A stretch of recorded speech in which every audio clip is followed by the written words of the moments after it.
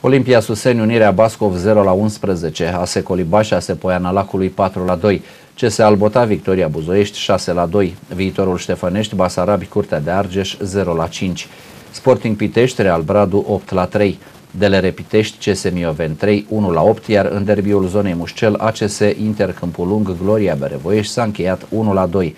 Au marcat Alex Popescu pentru gazde, Matei și Guran pentru învingători. Atletic Bradu 2, AS Micești a fost 0 la 3 la masa verde.